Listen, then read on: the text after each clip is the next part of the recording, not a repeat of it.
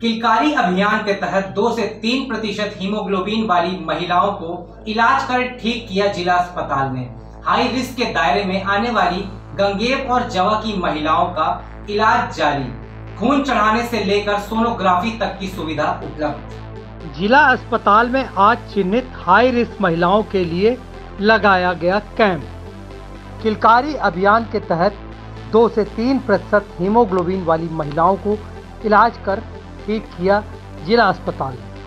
High risk के दायरे में आने वाली गंगे और जवा की महिलाओं का इलाज जारी, खून चढ़ाने से लेकर सोनोग्राफी तक की सुविधा आज उपलब्ध है जिला अस्पताल में इन महिलाओं के लिए। किलकारी अभियान के तहत दो से तीन परसेंट हीमोग्लोबिन वाली महिला का भी इलाज हुआ जिला अस्पताल में।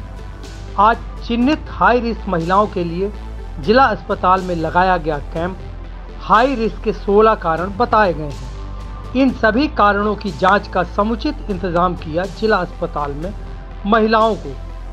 जिसकी चीज़ की भी ज़रूरत होगी, फिर चाहे वह खून हो या फिर सोनोग्राफी या फिर कोई और जाँच। तत्काल उपलब्ध कराई जाएगी। इसके लिए जिला अस्पताल में बेड का इंतज़ाम भी कर लिया गया है। बेड के पास ज़रूरत की सारी चीज़ों को उपलब्ध करा दिया गया है। फ़िलहाल डॉक्टर जुट गए हैं महिलाओं की जाँच में। पिछले दिनों रीवा के जिला अस्पताल में दो से तीन परसेंट हीमोग्लोबिन वाली महिला भी पहुँची थी, जिनका समुचित तरीके से इलाज किया था।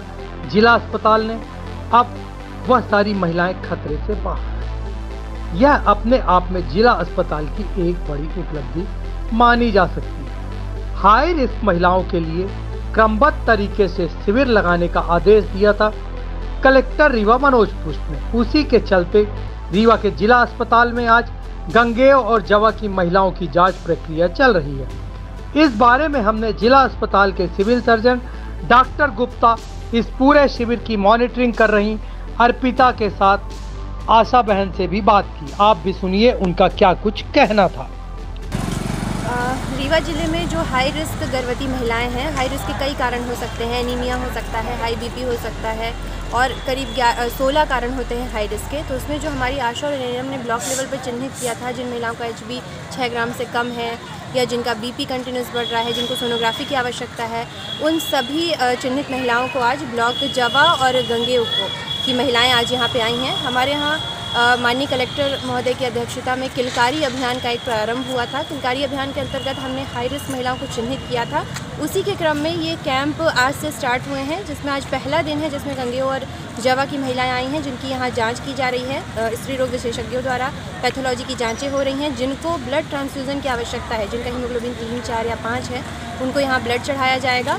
और साथ में सोनोग्राफी भी यहाँ पर महिलाओं की की जाएगी। और इसका करने का उद्देश्य सिर्फ़ इतना है कि नौवें महीने जब महिला की डिलीवरी हो, उस टाइम पे महिला क्रिटिकल कंडीशन में ना रहे, उसका एच सही रहे, उसका बीपी सही रहे और किसी भी महिला की डेथ ना हो। इसके उद्देश्य से ये पूरा अभियान चलाया जा रहा है।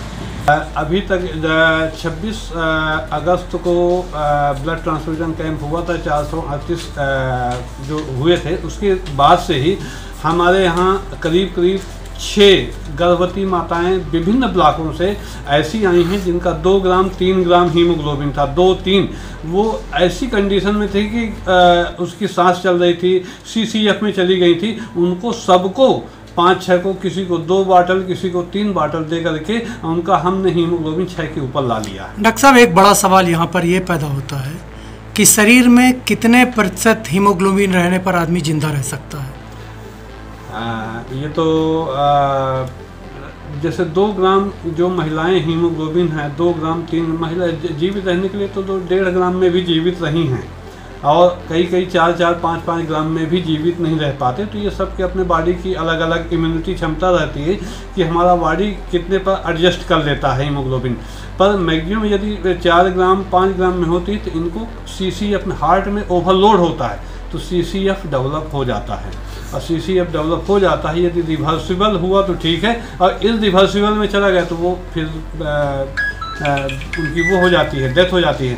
तो इसलिए रिवर्सिबल स्टेज में हम अभी जो दो तीन ग्राम की, चार पाँच महिलाओं को अभी इस ढाल हम दो दो, तीन तीन बाटल दे करके और छः ग्राम, सात ग्राम ला करके उनको, उनके सुनिश्चित कर लिया कि वो ठीक है। सर, मैं जब ब्लॉक से आई हूँ। हमारा नाम कविता वर्मा है।